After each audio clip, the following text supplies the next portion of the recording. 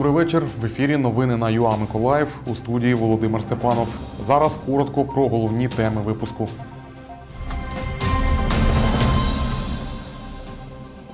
Трьом жителям Миколаєва посилили міру покарання. У Миколаєві визначили переможців акції День музейного селфі.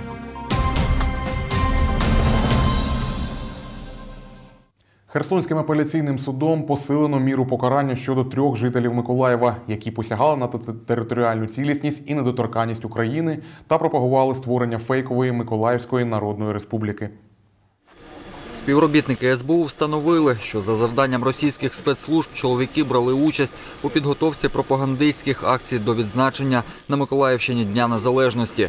Зокрема, вони виготовили та планували поширити у місцях масового скупчення людей листівки із закликами приєднатися до терористичної Новоросії, а також агітували підтримати проросійські формування на сході країни. Один із організаторів колишній співробітник Міністерства внутрішніх справ, визнаний винним за частиною 2 статті 110 Кримінального кодексу України та частиною 1 статті 263 і засуджений до 6 років позбавлення волі. Ще два учасники групи засуджені до 5 років позбавлення волі. Це давно очікуване рішення і Служби безпеки України, і прокуратури Миколаївської області. Давно очікуване рішення суду. Е, Було пророблено величезна кількість роботи для того, щоб е, і оперативниками, і прокурорами для того, щоб довести винуватість е, вказаних осіб. І очевидно, всі ем, думаю, погодяться зі мною, що злочини проти держави мають е, бути покарані саме у вигляді реального терміна ув'язнення. Тут хочу особливо підкреслити роль наших партнерів з прокуратури, які після вироку суду першої інстанції е, вжили додаткових зах- заходів і підкреслили е, безперечну винува- винуватість е, цих трьох осіб. Один з захисників засуджених Анатолій Секер з рішенням суду не згоден. Звісно, ми не згодні. Ми будемо писати скарги та протести у всі інстанції і у всі суди з прав людини. Тут грубі порушення прав людини, дуже грубі, підкреслюю. Всупереч всім нормам права, закону, конституції. Тобто незрозуміло для чого це було зроблено. Вже давно немає загрози, вже давно майдан минув. І зараз у наш час незрозуміло для чого.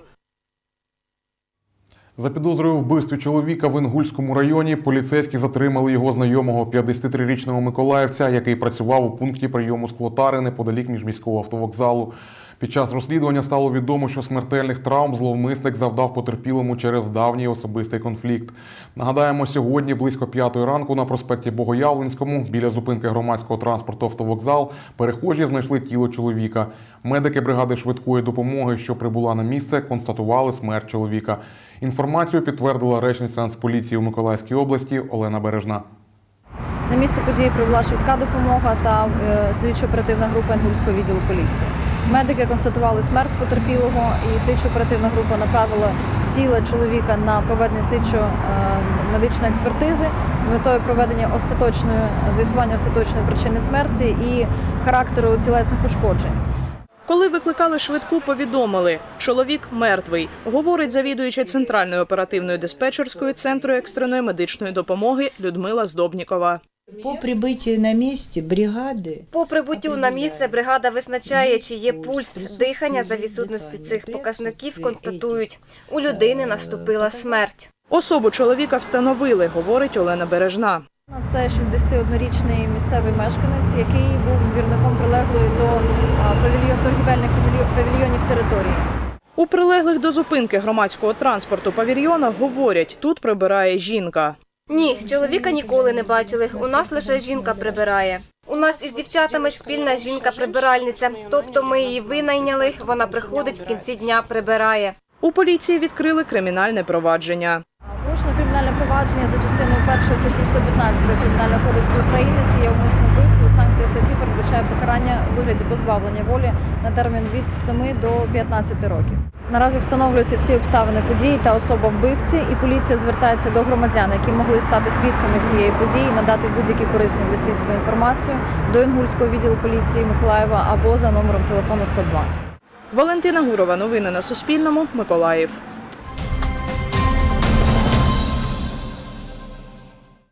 107 вподобань за перше місце, 102 за друге, 87 за третє, а також переможниця, яка зробила 18 селфі майже у кожній залі.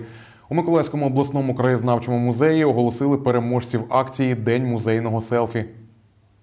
Олег Дорош посів друге місце в акції День музейного селфі, набравши 102 уподобання у Фейсбуці. Чоловік сфотографувався на фоні експонату Dream City. Олег Дорош говорить, робити селфі він не любить. Взяв участь в акції, щоб виграти книгу про старофлотські казарми. Там е, царує особлива атмосфера, мені взагалі е, приємно там знаходитись і ніби відчуття, якби ніби ти в дитинстві, в дитинстві і все так гарно, чудово і райдужно. Я взагалі вважаю, що Dream City – це в Миколаєві. От я зараз я журналістом так само працюю, зараз роблю матеріал.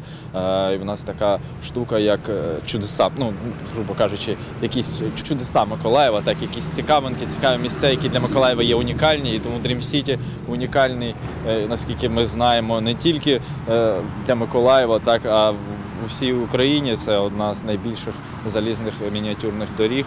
Е, От і приїжджають люди з інших країн, які дуже цікавляться саме е, саме подивитись на Дрім City.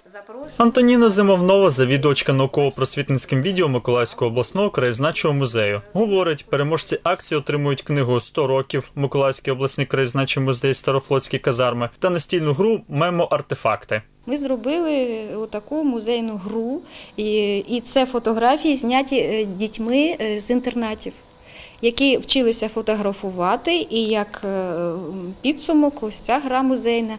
Ви можете е, використовувати артефакти, музейні експонати, фотосвітлини, зня- зняті дітьми е, і гратися.